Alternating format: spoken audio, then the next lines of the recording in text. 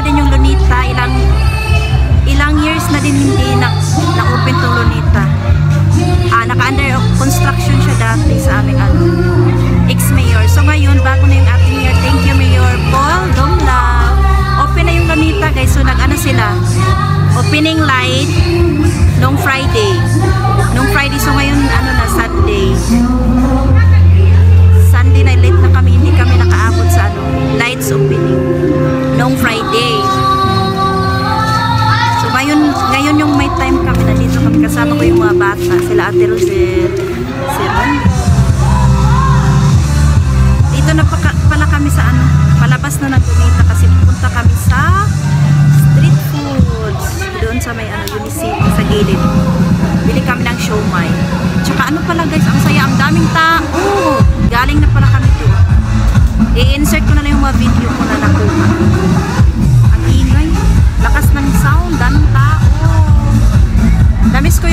Lonita guys, sobrang tagal na din hindi kami nakapunta kasi nga palagi siyang under construction. Nung ano nga dati sa ating experience. So ngayon iba na yung ating mayor. So thank you, na-open na din yung Lonita. Masaya, masarap kasi dito mag ano, standby guys kapag ano hapon, papahangin ka ba.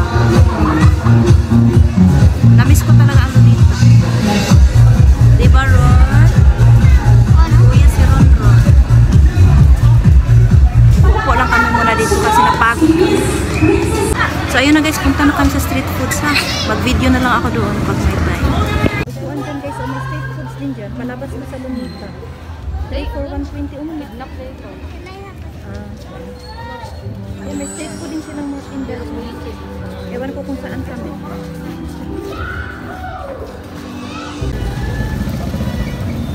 Dito na tayo sa tabi-tabi sa street food.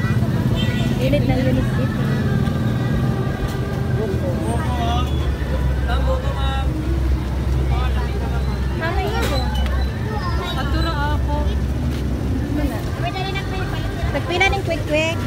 time kay ma'am.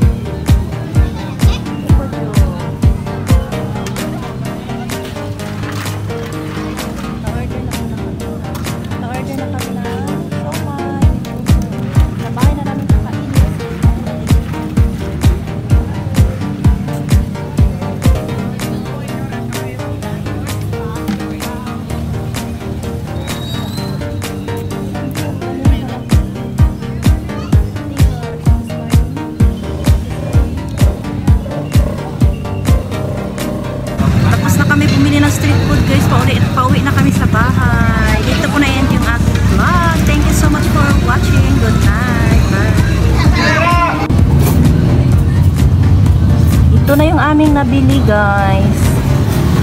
Puso, tag 7 yung isa. 7 pesos. And then, ito isa, tag 5. 5.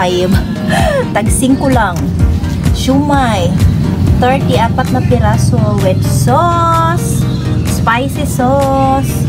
Dalawang klase. Ito yung sa shumai. Ang sarap niyan. Favorite namin yan. Yummy shumai. Let's eat guys. This is our dinner. Yammer.